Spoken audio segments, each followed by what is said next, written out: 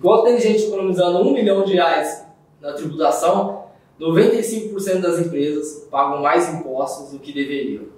E aí, por que acontece isso? Muito, a, a maior parte é por falta de informação.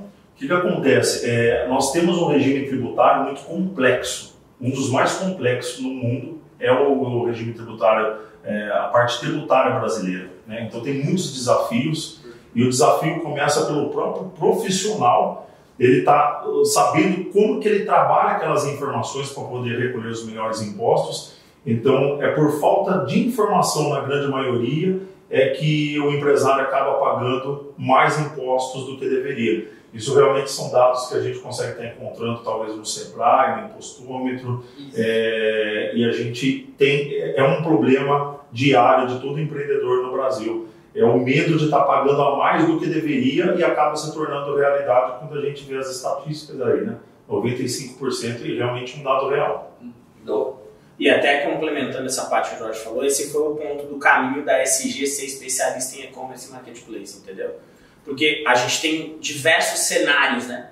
Então, se você pegar alguém que é especialista no salão de beleza, provavelmente esse cara ele fica especialista em todas as coisas que podem ser feitas e tal, tal, tal, tal. Cara do supermercado, lá, lá, lá. Então, cara, que a gente escolheu na SG, nós vamos ser os especialistas, e isso nasceu antes do que eu estar junto ainda, né? Sim. E aí eu tô tomando aqui um pouco da história do Jorge Edilson, mas é, a gente falou, cara, vamos ser especialista em e-commerce, vamos ser especialista em venda não presencial. Uhum. Então, isso tem uma carreira de benefícios que, se bem trabalhados, fazem o jogo tributário. Exatamente.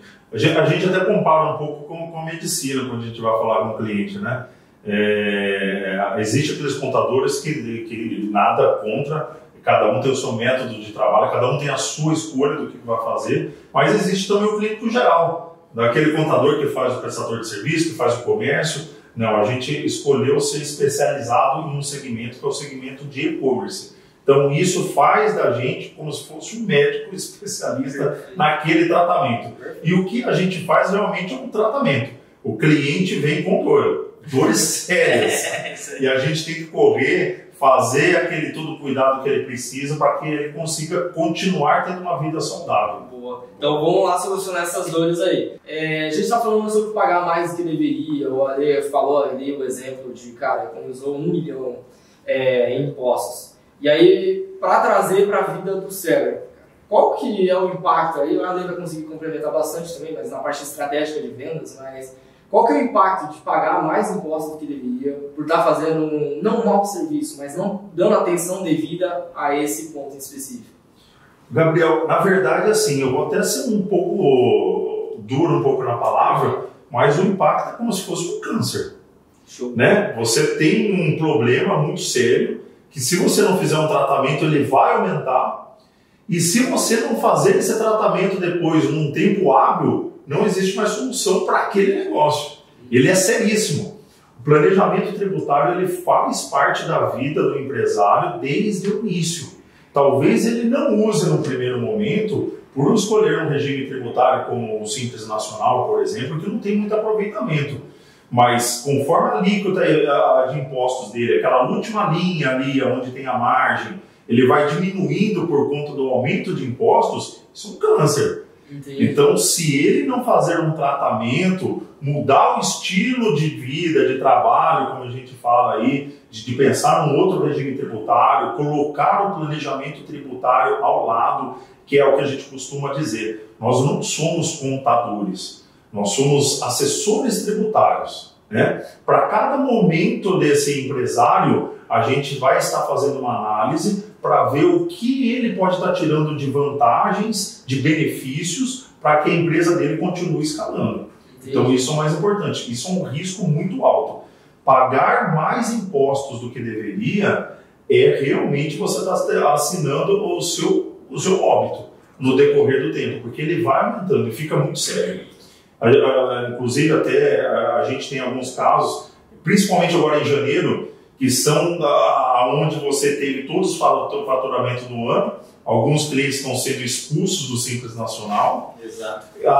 no pior caso, como aconteceu hoje, inclusive, até a gente está tendo o caso de um cliente que é, ele gerou os débitos anteriores e também está tendo que recolher o ICMS à parte, né, que ele estourou o sublimite do Simples Nacional de 3 milhões e 600.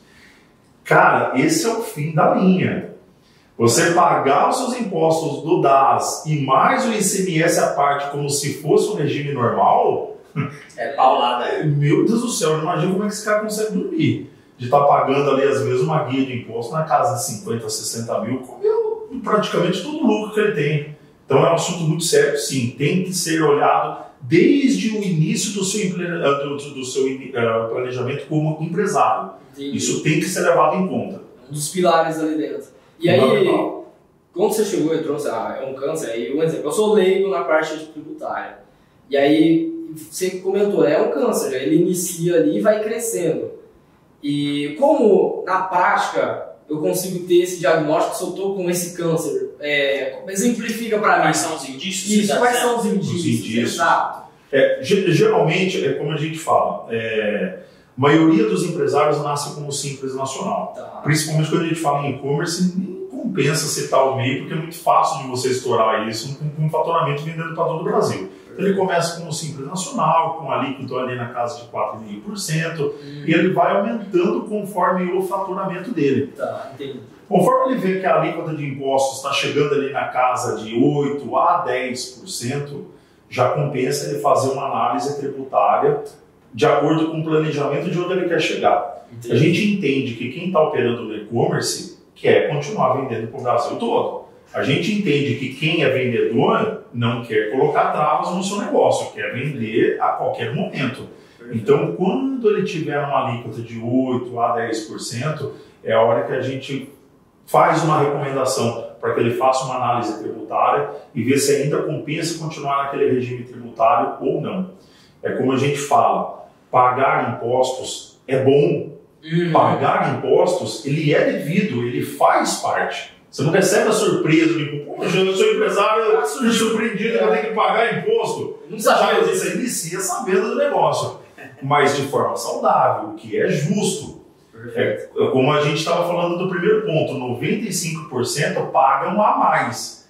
E eu ficaria muito mais contente sabendo que eu estou pagando um valor justo, nem a mais e nem a menos.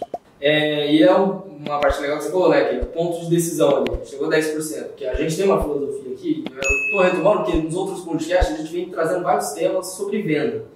E uma coisa que blinda o vendedor, que é uma filosofia que o Ale traz, é: se for para escolher entre ser pequeno e ser grande, a gente quer ser grande. Então, se você quer ser grande, como filosofia nossa é ser grande. Então, faz o planejamento porque se vai crescendo gradativamente, uma hora vai passar além do que deve. Então, é um ponto legal. Agora deu pra ter uma noção ali, beleza, em que momento. Saber se você tá. Exato, que momento que o meu câncer tá na hora de fazer uma cirurgia aí, fazendo as parábolas, mas. Ainda nesse momento não virou câncer ainda, tá? Não, não virou. É, ainda ele tá 8, 10%, ele tá sentindo umas dorzinhas ah, agora. Tá, opa, deixa eu ir lá fazer uma consulta pra ver se é normal. Perfeito. Entendi. Se passar de 10%, isso vai virar. Isso vira. Tá. Você vende mais de 20 mil reais no Mercado Livre quer escalar as vendas da sua loja no Marketplace, então eu tenho uma notícia para você. Nós da Universidade Marketplace, a maior consultoria de vendas do Marketplace da América Latina, separamos os consultores da nossa equipe para analisar a conta da sua loja no Mercado Livre e mostrar quais são os pontos para você aumentar as vendas dentro do Marketplace. Para ter acesso a essa análise de conta, escaneie o QR Code agora mesmo que está aparecendo aqui na tela, é por tempo limitado faça o agendamento da sua análise de conta e eu espero você para alavancar as vendas da sua loja dentro do Mercado Livre.